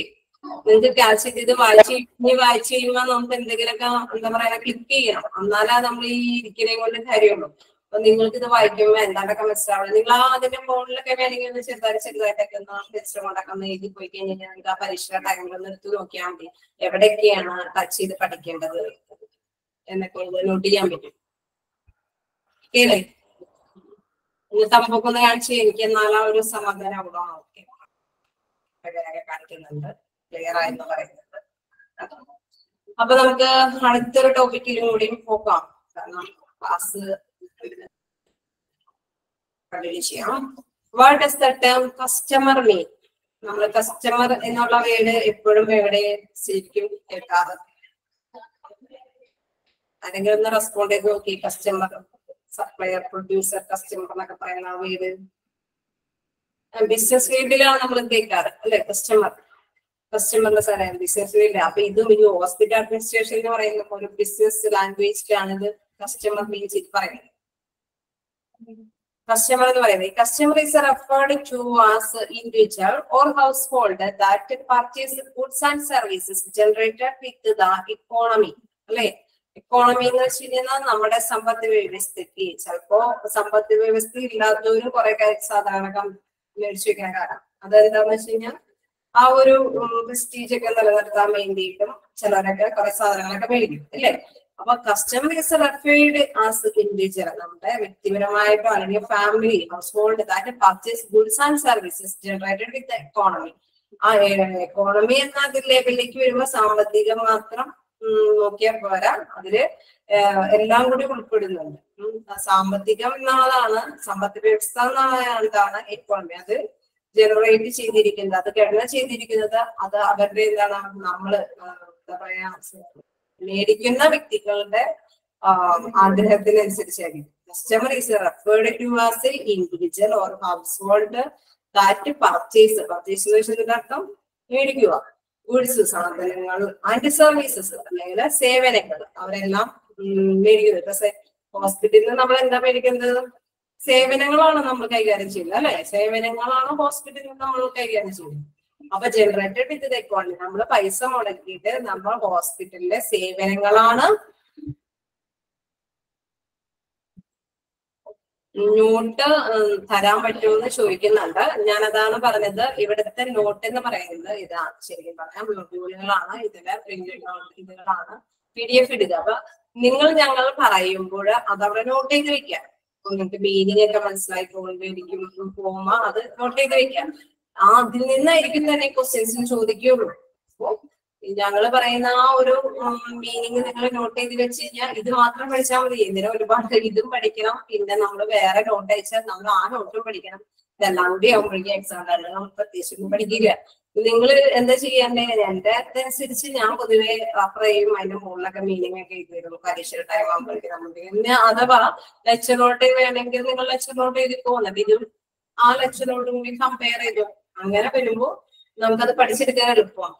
വീണ്ടും ഒരു നോട്ടും കൂടി വരുമ്പോ നിങ്ങൾക്ക് ആകെ കൺഫ്യൂസ്ഡ് ആവും. അത് പഠിക്കണോ? അത് വായിച്ചെടുക്കണോ? അല്ലെങ്കിൽ ഈ നോട്ട് വേണോ? അതാണ് പ്രത്യേകിച്ച് നോട്ടൊന്നും ഇത് ഇത് ഇത് മാത്രമേ ഉള്ളൂ എന്നാണ് പറഞ്ഞേക്കുന്നത്. ഈ നോട്ട് തന്നെ നിങ്ങൾക്ക് ചെയ്യാനുള്ളൂ. ഇതിൽ നിന്ന് മാത്രമേ ക്വസ്റ്റ്യൻസ് വരുന്നുള്ളൂ. അപ്പൊ നിങ്ങൾക്ക് ഇത് മാത്രം പഠിച്ചാൽ പോരെ. ശരിക്കും പറഞ്ഞ ഇതിന്റെ മീനിങ് നിങ്ങൾ മനസ്സിലാക്കി വെക്കുക. ഞാനിപ്പോ കുറച്ച് പേടിച്ചൊക്കെ നിങ്ങളോട് പറയുന്നുണ്ട്. അപ്പൊ അതൊക്കെ ഒന്ന് ശ്രദ്ധിച്ചു വെച്ച് കഴിഞ്ഞാൽ അതുമായി ബന്ധപ്പെട്ട ക്വസ്റ്റ്യൻസ് ഒക്കെ ആയിരിക്കും ചോദിക്കുന്നത്. ഓക്കെ ഞാൻ ക്ലാസ് കണ്ടിന്യൂ ചെയ്തോട്ടെ. Okay what is the uh P D എഫിന്റെ മുകളിൽ എഴുതിയോ? മതി മതി. യെസ് പി ഡി എഫിന്റെ മുകളിൽ നിങ്ങൾ എഴുതി പോയാൽ മതി. ആ മീനിങ്ങുകളൊക്കെ നിങ്ങൾ അതിന്റെ മുകളിൽ എഴുതി പോയാൽ മതി. അപ്പൊ നിങ്ങൾക്ക് എക്സാം ടൈമിൽ പി ഡി എഫ് വായിക്കാനും പറ്റും. അതിനൊപ്പം തന്നെ ഇത് ക്ലിയർ ചെയ്തു. അപ്പൊ എക്സാമിന് പോകുന്ന പ്രത്യേകിച്ച് സംഭവങ്ങളൊന്നും കൊണ്ടുപോകേണ്ട വരില്ല. ഇതൊക്കെ നിങ്ങൾ കേൾക്കുമ്പോൾ നമ്മൾ പെട്ടെന്ന് പെട്ടെന്ന് നമുക്ക് ക്ലിക്ക് ചെയ്യും. പിന്നെ നമ്മൾ കുറച്ച് നാളെ കഴിയുമ്പോൾ ഇതെടുത്തു മൊത്തം വായിക്കുമ്പോഴേക്കും ഇതൊക്കെ ഇത് സാധാരണ മാതിരി തന്നെയുള്ള രീതിയൊക്കെ. ഇതൊക്കെ ചോദ്യം ഇതൊക്കെ ആൻസർ എന്നൊക്കെ ഉള്ള ഒരു ചിന്ത വരും. അപ്പൊ നമ്മൾ പഠിപ്പിക്കുമ്പോ നമ്മൾ ചില വേർഡ്സുകളൊക്കെ നോട്ട് ചെയ്ത് പറയുമ്പോൾ അതൊക്കെ ഒന്ന് നിങ്ങൾ നോട്ട് ചെയ്ത് വെക്കാം അപ്പൊ അത് എക്സാം ടൈമിൽ നമുക്ക് ഉപകാരപ്പെടുകയും ചെയ്യും. What is the term customer mean ഇപ്പൊ ഞാൻ പറഞ്ഞു കസ്റ്റമർ എന്താണെന്നാണ് ഇപ്പൊ നെക്സ്റ്റ് ടൈം പഠിപ്പിക്കുന്നത്. നമ്മൾ പറഞ്ഞു നമ്മൾ പേഷ്യന്റ് ആണ് കസ്റ്റമർ ഈ പേഷ്യന്റ് ഹോസ്പിറ്റലിൽ നിന്ന് എന്താ മേടിക്കുന്നത്? അവർ ഗുഡ്സ് ഒന്നും മേടിക്കുന്നില്ല അല്ലെ? സാധനങ്ങളൊന്നും മേടിക്കുന്നില്ല. അവരെന്താ മേടിക്കുന്നത്? അവരവരുടെ ഡോക്ടേഴ്സിന്റെ നഴ്സുമാരുടെ മറ്റുള്ളവരുടെ സേവനങ്ങളാണ് മേടിക്കുന്നത്. മെഡിസിൻസ് ഒക്കെ നമ്മൾ പർച്ചേസ് ചെയ്യുന്നുണ്ടെങ്കിലും അതിന് നമ്മൾ ഇത് സേവന ആ നമ്മൾ ട്രീറ്റ് ചെയ്യുന്ന ആ സേവനത്തിന്റെ ഭാഗമായിട്ടാണ്. അതെല്ലാം നമ്മൾ പർച്ചേസ് ചെയ്യുന്നത് അല്ലെ? അപ്പൊ അതുമായി ബന്ധപ്പെട്ട ഒരു ഇതാണ് നമ്മൾ പറഞ്ഞു പോകുന്നത്. Customer is referred to as individual or household that purchase goods and services generated with economy ഇപ്പൊ നമ്മൾ ഹോസ്പിറ്റൽ ലാംഗ്വേജിലാണ് നമ്മൾ അത് എടുക്കണത് എങ്കിൽ അങ്ങനെയാണ് മീൻ ചെയ്യുന്നത് ഇപ്പൊ ഇവിടെ പറയുന്ന ഈ സെന്റൻസ് മീനിങ് നോക്കുക നമ്മുടെ സമ്പത്ത് വ്യവസ്ഥയ്ക്ക് അനുസരിച്ചാണ് നമ്മൾ ഗുഡ്സ് സർവീസസ് ഒക്കെ നമ്മൾ എന്ത് ചെയ്യുന്നത്? ആ, വേണം എന്ത് വേണം? ഇപ്പൊ നമ്മൾ എല്ലാ പേഷ്യൻസും ഒരേ ഹോസ്പിറ്റലിൽ പോകുന്നുണ്ടോ? ഇല്ല. നമ്മുടെ സാമ്പത്തിക വ്യവസ്ഥ അനുസരിച്ച് നമ്മുടെ ഇതനുസരിച്ചാണ് നമ്മൾ ഹോസ്പിറ്റലിൽ തിരഞ്ഞെടുക്കുന്നത് അല്ലേ? അപ്പൊ അതാ പറയുന്നത് നമ്മുടെ എക്കോണമി അനുസരിച്ച് ചിലപ്പോ ചിലരൊക്കെ എന്താ പറയുക എക്കോണമി പറഞ്ഞാൽ സ്റ്റാറ്റസ് കീപ്പിംഗ് ആയിരുന്നു വലിയ ഹോസ്പിറ്റൽ അങ്ങനെയും ഉണ്ടാവും. ചിലരൊക്കെ എന്താ പറയുക സാമ്പത്തികം ഉണ്ടായാൽ ഉം, എന്താ പറയുക ഗവൺമെന്റ് ഹോസ്പിറ്റൽ ഫെസിലിറ്റിയാണ് ഞങ്ങൾക്ക് ഏറ്റവും കൂടുതൽ ഇഷ്ടം. അത് അവരവന്റെ ഓരോ വ്യക്തികളുടെയും എന്താ പറയണ അവരുടെ ഇതിന്റെ അനുസരിച്ചിരിക്കും മൈൻഡ് അനുസരിച്ചിരിക്കും. ജനറേറ്റഡ് വിത്ത് ദ ഇക്കോണമി അടുത്ത ഒരു പോയിന്റ് എന്ന് പറയുന്നത് the word is historically derived from custom meaning habit customer is someone who frequently consist a particular shop and makes it a habit to purchase goods from there. അതിങ്ങനെ എന്താ പറയാ വലിയൊരു sentence ആയിട്ട് ഇങ്ങനെ കൊടുത്തേക്കാം. അപ്പൊ അത് കുറച്ച് കുറച്ച് പോവാം. The word is historically derived from first okay historically ചരിത്രപരമായി എന്താ ഈ കസ്റ്റമർ എന്ന വേർഡ് വന്നിരിക്കുന്നത് എന്തിൽ കസ്റ്റം കസ്റ്റം നോക്കുക. സ്പെല്ലിംഗ് നോക്കിയ. C U S T O M custom എന്ന വേർഡിൽ നിന്നാണ് എന്ത്? കസ്റ്റമർ എന്ന വേർഡ് വന്നിരിക്കുന്നത്. കസ്റ്റമറിന്റെ spelling C U S T O M E R M E R okay അല്ലേ? അപ്പൊ കസ്റ്റം എന്ന വേർഡിൽ നിന്നാണ് എന്ത്? കസ്റ്റമർ എന്ന വേർഡ് വന്നിരിക്കുന്നത്. ഇനി അതിന്റെ മീനിങ് എന്താ? ഹാബിറ്റ് ശീലം ശീലം എന്നാണ് ഹാബിറ്റ് എന്ന് വെച്ചാൽ നമുക്കറിയാം. ശീലം അല്ലെ? കസ്റ്റം എന്ന് പറയുന്നത് കസ്റ്റമർ എന്ന് പറയുന്നത് കസ്റ്റമറിന്റെ ശീലങ്ങളും ഞാൻ പറഞ്ഞില്ലേ എല്ലാവർക്കും സാമ്പത്തികമായ രീതിയിൽ മാത്രമല്ല നമ്മളെല്ലാം പർച്ചേസ് ചെയ്യുന്നത്. അത് അവരുടെ ഓരോ ശീലം അവരുടെ ശൈലി. ആ ശൈലിക്ക് അനുസരിച്ചും നമ്മൾ ഗുഡ്സ് ആൻഡ് സർവീസസ് ഒക്കെ നമ്മൾ പർച്ചേസ് ചെയ്യും. ഇല്ലേ? ആ അപ്പൊ അതാണ് പറയുന്നത് ആ habit meaning habit customer is someone who frequently consist a particular shop ഇനി അതൊരു അടുത്തൊരു പോയിന്റിലേക്ക് പോവുകയാണ്. ഇതുവരെ നിങ്ങൾ നോക്കിയോ? The word is historically derived from customer അത് കിട്ടിയില്ലേ? കസ്റ്റമർ എന്ന വേഡ് എന്തിൽ നിന്നാ വന്നിരിക്കുന്നത്? കസ്റ്റം എന്ന ഹിസ്റ്റോറിക്കൽ നെയിമിൽ നിന്നാണ് വന്നിരിക്കുന്നത്. ചരിത്രപരമായ ആ കസ്റ്റം എന്ന നെയിമിൽ നിന്നാണ് കസ്റ്റമർ വന്നിരിക്കുന്നത്. കിട്ടിയല്ലോ? ഇനി അതിന്റെ മീനിങ് മീനിങ് എന്ന് പറയുന്നത് എന്താ? ഹാബിറ്റ് ഹാബിറ്റ് എന്ന് പറഞ്ഞാൽ ശീലം അല്ലെങ്കിൽ ശൈലി എന്ന് നമുക്ക് വേണമെങ്കിൽ പറയാം. ആ ശീലങ്ങളിൽ നിന്നാണ് ഈ കസ്റ്റമർ എന്നത് പേര് വന്നിരിക്കുന്നത് ഇനി കസ്റ്റമർ ഈസ് സംവൺ അത് ആരുമാവാം. ഫ്രീക്വന്റ്ലി പർട്ടിക്കുലർ ഷോപ്പ് നിങ്ങൾ നോക്കി ആലോചിക്കും ചില സംഭവം എന്ന് പറഞ്ഞാൽ കുറച്ച് പേര് ഫ്രീക്വന്റ്ലി കൺസിസ്റ്റ് പർട്ടിക്കുലർ ഷോപ്പ് എന്ന് പറഞ്ഞു കഴിഞ്ഞാൽ ചില ഷോപ്പിൽ അവർ ഇടയ്ക്കിടയ്ക്ക് പോകും പക്ഷെ എന്നും അല്ല ചിലപ്പോ വീക്കിലി ആയിരിക്കും. ചിലപ്പോ രണ്ട് ദിവസം കൂടുമ്പോഴായിരിക്കും ചിലപ്പോ മന്ത്ലി ഒരു രണ്ട് പ്രാവശ്യം ആയിരിക്കും. അങ്ങനെ ഒരു ഫ്രീക്വന്റ്ലി അവർ ആ ഷോപ്പിൽ പോകും. And makes it a habit to purchase goods from their അവരെന്താ ചെയ്യാ? അവിടെ പോയിട്ട് ഗുഡ്സ് ഒക്കെ പർച്ചേസ് ചെയ്യും ഓക്കെ നീ നിങ്ങളെ എന്നെ ശ്രദ്ധിച്ചുകൊണ്ടിരുന്നു. കഴിഞ്ഞാൽ ഞാൻ പറയുന്ന കാര്യങ്ങൾക്ക് നിങ്ങൾക്ക് എന്നോടൊപ്പം തന്നെ ഫോൺ ചെയ്ത് പോകാൻ പറ്റും. ഓക്കെ അപ്പൊ എന്താ ഞാൻ പറയുന്നത്? എ കസ്റ്റമർ ഈസ് എ സംഭവം who frequent consist particular shop and makes it habit to purchase goods from good from their അവിടെ നിന്ന് പർച്ചേസ് ചെയ്യും and with the the the keeper had to maintain a relationship to keep his or her custom which means expected purchases in the future അപ്പൊ അവിടെ വേറൊരു കാര്യം നടക്കുന്നുണ്ട്. നമ്മളിങ്ങനെ പോകുന്നുണ്ട് നമ്മളിങ്ങനെ ഇടയ്ക്കിടയ്ക്ക് സാധനങ്ങൾ മേടിക്കുന്നുണ്ട് എന്ത് കുറച്ച് പേര്. എല്ലാവരും അല്ല കുറച്ച് കുറച്ച് കിട്ടിയിട്ടുണ്ട്. And with the home the shopkeeper അപ്പൊ ആ ഷോപ്പിന്റെ ഉടമ ഷോപ്പ് കീപ്പർ എന്ന് വെച്ചാൽ ഷോപ്പിന്റെ ഉടമ. Had to maintain a relationship to keep his or her അവരെന്ത് ചെയ്യും ഒരു ബന്ധം സ്ഥാപിക്കും. നമ്മളിപ്പോ പേഷ്യന്റും തമ്മിൽ പറയാ ഫ്രണ്ടിലെ ഫാമിലി മെമ്പേഴ്സ് ആയിരിക്കണം പറഞ്ഞില്ലേ? എന്ന് പറഞ്ഞ മാത്രമേ ഷോപ്പ് കീപ്പർ എന്ത് ചെയ്യും? ഈ ഇടയ്ക്കിടയ്ക്ക് വന്ന് മേടിക്കുന്ന കസ്റ്റമറുമായിട്ടൊരു റിലേഷൻഷിപ്പ് ഒരു ബന്ധം ടു കീപ്പ് അവർ സൂക്ഷിക്കും. ഹിസ് ഓർ ഹെയർ കസ്റ്റം അവരുടെ ആ ഒരു കസ്റ്റം അവരുടെ ശൈലി അനുസരിച്ചുള്ള ബന്ധം അവരായിട്ട് നമ്മളെ ചിലർ പറഞ്ഞു ചില ചിലരാണെങ്കിൽ സംസാരിക്കുന്ന ഒരു ശൈലിക്കാരായിരിക്കും അപ്പൊ അവരോട് നല്ല കുറെ വിശേഷങ്ങളൊക്കെ പറഞ്ഞിട്ടായിരിക്കും ബിസിനസ് അയാൾ അയാൾ സാധനങ്ങളൊക്കെ എടുക്കുന്നത് ചിലര് സംസാരിക്കാൻ വേണ്ടി ചിലര് ക്വാളിറ്റിയുടെ കാര്യമായിരിക്കും എപ്പോഴും നോക്കും. അപ്പൊ ആ ക്വാളിറ്റിയുമായി ബന്ധപ്പെട്ട ഡീറ്റെയിൽസ് ഒക്കെ ഒരുപാട് ചിലരാണെങ്കിലോ ക്വാളിറ്റിയും അല്ല ക്വാണ്ടിറ്റി ആയിരിക്കും. എന്ന് വെച്ചാൽ അളവായിരിക്കും. അപ്പൊ ആ അളവ് കൂടുതലുള്ള സംഭവങ്ങളൊക്കെ അവരെ അപ്പൊ ഈ ബിസിനസ്മാന് കുറെ ട്രിക്കും ഇതൊക്കെ ഉണ്ട്. അപ്പൊ അത് തന്നെയാണ് പറയുന്നത്. Which means expected parties in the future our expected എന്താ പ്രതീക്ഷിക്കുന്നു. എന്ത്? ഇൻ ഫ്യൂച്ചറിൽ നിന്ന് ഫ്യൂച്ചറിൽ ഭാവിയിൽ എന്തൊക്കെ അവർ വേദിക്കാം എന്നൊക്കെ ഈ കോൺവെർസേഷനിലൂടെയും ഈ റിലേഷൻ ഈ എന്താ പറയുന്ന റിലേഷൻഷിപ്പ് നല്ല ബന്ധം സ്ഥാപിക്കുമ്പോൾ അവരതെല്ലാം എന്ത് ചെയ്യും? എക്സ്പെക്ട് ചെയ്യും. അത് അവർ പ്രതീക്ഷിക്കും. അപ്പൊ ആ ഒരു പാരഗ്രാഫിലാണ് പറഞ്ഞു പോണ കുറച്ച് കാര്യങ്ങളാണ് ഞാൻ പറയുന്നത് the word is historically derived from custom meaning habit. A customer is someone who frequently consists a particular shop and make it a habit to purchase goods from there and with whom the shopkeeper had to maintain a relationship to keep his or her custom, which mean expected purchase in the future. ഫ്യൂച്ചറിൽ എന്തെല്ലാം purchase ചെയ്യാൻ പറ്റും എന്നുള്ളത് അവർ expect ചെയ്യും. എന്ന് വെച്ചാൽ അവർ അതുമായി ബന്ധപ്പെട്ട കാര്യങ്ങൾ കാര്യങ്ങളെല്ലാം നോട്ട് ചെയ്തിരുന്നു ഓക്കെ നമ്മുടെ ക്ലാസ്സിന്റെ ടൈം ഏതാണ്ടും ഇരുപത്തി ആറായത് നിങ്ങൾക്ക് വല്ല ഡൗട്ടുകളൊക്കെ ഉണ്ടോ? ഞാൻ ഇപ്പൊ എടുത്തത് എനിക്ക് കണ്ടിന്യൂ ചെയ്യാൻ രണ്ട് പോയിന്റ് കൂടി ഉണ്ട്. ഞാൻ കണ്ടിന്യൂ ചെയ്യട്ടെ? എന്തെങ്കിലും ഡൗട്ട് ഉണ്ടോ?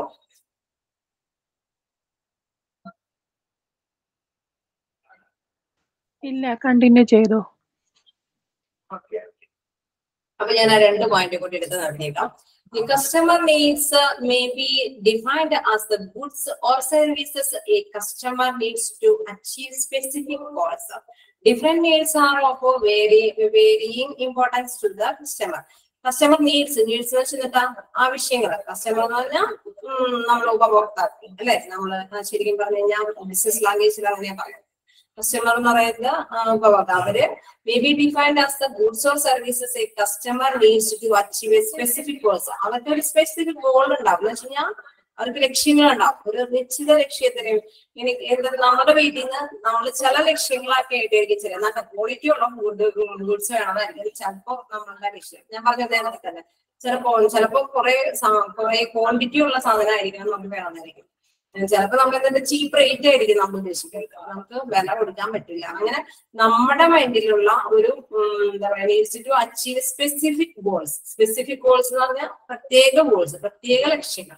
ആ ലക്ഷ്യങ്ങളെല്ലാം എന്താ പറയുക കസ്റ്റമറിന്റെ നീഡ്സ് മേ ബി ചെയ്യും. കസ്റ്റമറിന്റെ തന്നെ ഡിഫൈൻ ചെയ്യുന്നത് അവരുടെ സ്പെസിഫിക് ഗോൾ വെച്ചിട്ടാണ്. മനസ്സിലായോ? ഒരു വ്യക്തിയെ നമ്മൾ ഡിഫൈൻ ചെയ്യുന്നു.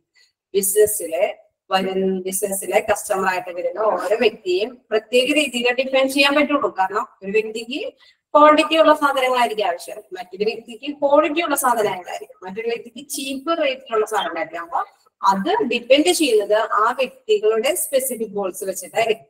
ഓക്കെ സ്പെസിഫിക് വെച്ച് കഴിഞ്ഞാൽ പ്രത്യേക ലക്ഷ്യങ്ങൾ വെച്ച്. ഓക്കെ അല്ലേ? പിന്നെ different needs are of varying importance to the customer ഞാനിപ്പോ പറഞ്ഞ പോലെ കസ്റ്റമറിന്റെ ഇമ്പോർട്ടൻസ് കസ്റ്റമറിന്റെ പ്രാധാന്യം അനുസരിച്ചായിരിക്കും ഡിഫറെന്റ് മീൻസ് അവർക്ക് വ്യത്യസ്ത ആവശ്യങ്ങൾ വരുന്നത്.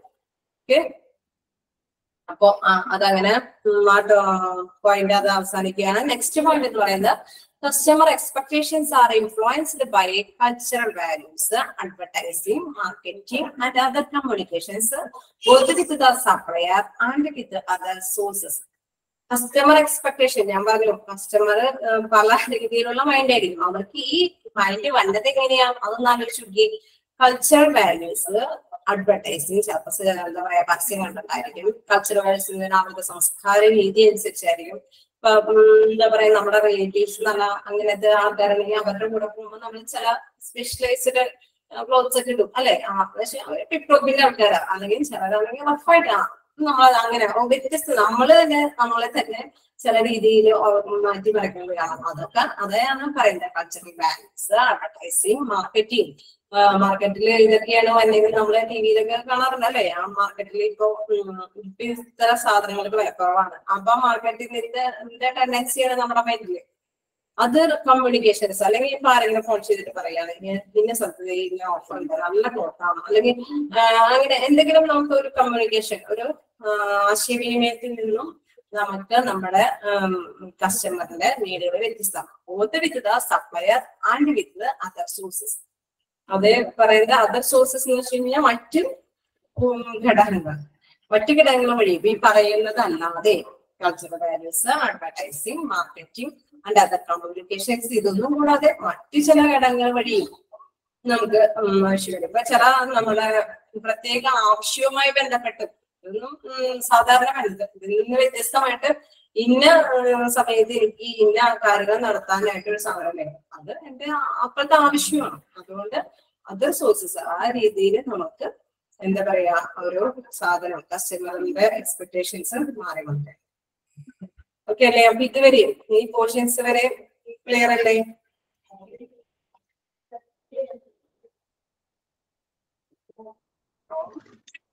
മിസ് അവസാനത്തെ പോയിന്റ് ഒന്നും കൂടെ പറയോ അവസാനത്തെ പോയിന്റ് കസ്റ്റമർ എക്സ്പെക്ടേഷൻസ് എക്സ്പെക്ടേഷൻസ് എന്ന് വെച്ചാൽ എന്താ? അവർ മനസ്സിൽ കൊണ്ടുവരുന്ന കാര്യങ്ങൾ. എക്സ്പെക്ട് ചെയ്യുന്നത്. ഞാനിപ്പോ നന്നായിട്ട് പഠിച്ചു. എനിക്ക് ഇത്രയും മാർക്ക് എക്സ്പെക്ട് ചെയ്യുന്നു. അല്ലേ? അങ്ങനെ ഒരു മൈൻഡ് ഉണ്ട് നമ്മൾ ഞാൻ പഠിച്ചിട്ട് ഉണ്ടായിരുന്നു പഠിച്ചതിനേക്കാൾ കുറവ് നമ്മൾ ഒരിക്കലും പഠിച്ചത്രയല്ലേ നമ്മൾ മാർക്ക് പ്രതീക്ഷിക്കുള്ളൂ. എന്ന് പറഞ്ഞാൽ മാത്രമേ കസ്റ്റമർ എക്സ്പെക്ടേഷൻ കസ്റ്റമർ എന്ന് വെച്ച് കഴിഞ്ഞാൽ ഉപഭോക്താക്കളുടെ എക്സ്പെക്ടേഷൻ ഇൻഫ്ലുവൻസ് ഇൻഫ്ലുവൻസ് എന്ന് വെച്ചാൽ പ്രചോദിപ്പിക്കുന്നു. അവരെ പ്രചോദിപ്പിക്കുന്നു. ആ വേർഡുകൾ ഒന്ന് ക്ലിയർ ആവാനായിട്ടായിരിക്കാം ഇൻഫ്ലുവൻസ് എന്ന് വെച്ച് കഴിഞ്ഞാൽ പ്രചോദിപ്പിക്കുക. എക്സ്പെക്ടേഷൻ എന്ന് വെച്ച് കഴിഞ്ഞാൽ നമ്മൾ പ്രതീക്ഷിക്കുന്നത്. അത് എങ്ങനെയൊക്കെയാണ് കൾച്ചറൽ അത് ഏതൊക്കെ രീതിയിലാണ് പ്രചോദിപ്പിക്കുന്നത് cultural values advertising marketing and other communication നേരത്തെ പറഞ്ഞു ചിലപ്പോഴെല്ലാം നമ്മൾ ഈ എക്സ്പെക്ട് ചെയ്യുന്നത് ഈ സാധനങ്ങൾ നമ്മൾ ആഗ്രഹിക്കുന്നത് അല്ലെങ്കിൽ വേണമെന്ന് നമ്മളെ പ്രചോദിപ്പിക്കുന്ന ഘടകങ്ങൾ എന്തായിരിക്കും? ചിലപ്പോൾ നമ്മൾ പരസ്യത്തിക്കേണ്ടതുകൊണ്ടായിരിക്കാം ചിലപ്പോൾ നമ്മൾ കമ്മ്യൂണിക്കേഷൻ ആരെങ്കിലൊക്കെ സംസാരിക്കുന്നത് കൊണ്ടായിരിക്കാം എനിക്ക് ഒരു സാധനം വേണം. അത് ഇതിന്റെ ക്വാളിറ്റി ഇത്രയുണ്ട്. അല്ലെങ്കിൽ അതിന്റെ റേറ്റ് ഇത്രയാണ് അങ്ങനെ ആരെങ്കിലൊക്കെ ആയിട്ട് സംസാരിച്ചതുകൊണ്ടാവാം both with the supplier and with other source അല്ലെങ്കിൽ നമ്മൾ നമ്മളുടെ എന്താ പറയുക സാധാരണ രീതിയിൽ നമ്മുടെ ആവശ്യങ്ങളനുസരിച്ച് അതർ സോഴ്സസ് അതർ വേറെ രീതിയിൽ നമ്മൾ സപ്ലയറിൽ നിന്നും സാധനങ്ങൾ മേടിക്കാനായിട്ട് നമ്മൾ എക്സ്പെക്ട് ചെയ്യും നമ്മൾ പ്രതീക്ഷിക്കുന്നു. Customer expect expectations are influence ഇവിടെ പ്രധാനമായിട്ടും ഇപ്പൊ ചോദിക്കുന്ന ഒരു ചോദ്യം എന്ന് പറയുന്നത് എന്താണ്? What what are related with customer expectations അപ്പൊ നമ്മൾ എന്താ പറയാ?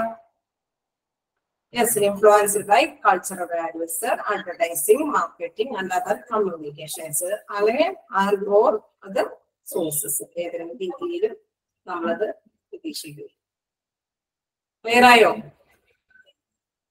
ചോദിച്ചാൽ അവർക്ക് ക്ലിയർ ആയോ?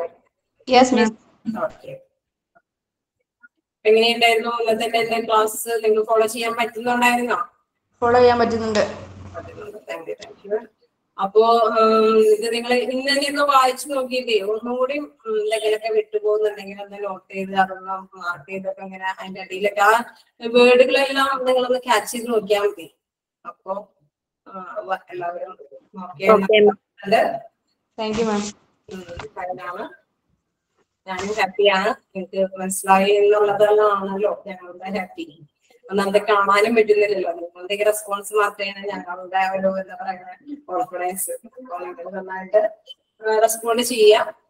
ഇത് എല്ലാവരും അൺമ്യൂട്ട് ചെയ്ത് അങ്ങനെ പറയുന്നത് എന്തുകൊണ്ടെന്ന് വെച്ച് കഴിഞ്ഞാൽ എല്ലാവർക്കും ആകുന്നത് അതുകൊണ്ടാണ്. ശരിക്കും നിങ്ങളെ കണ്ട് പഠിപ്പിക്കാനാണ് ഞങ്ങൾക്കൊക്കെ ആഗ്രഹം. പക്ഷെ പറ്റിയില്ല.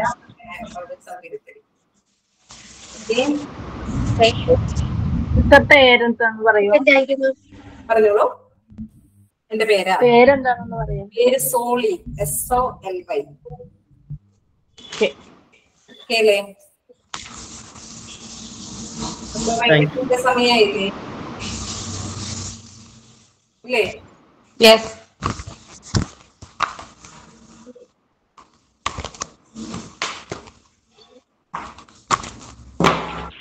Okay, മാം Bye.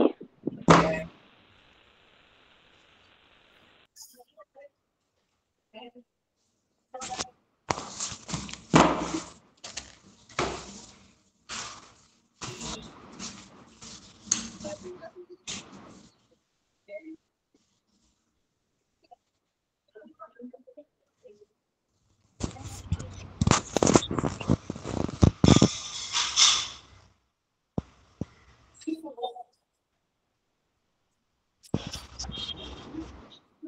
നാളെ ക്ലാസ് ഇല്ലല്ലോ ഇനി മൺഡേ അല്ലേ ഉള്ളൂ?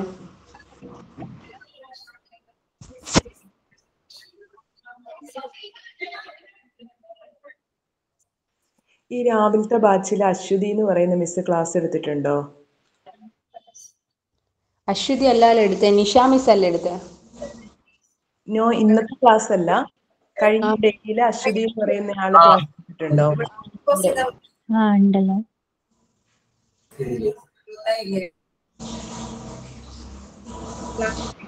ഹോസ്പിറ്റൽ എന്നുള്ളതാണോ എടുത്തേക്കുന്നേ. അതെ.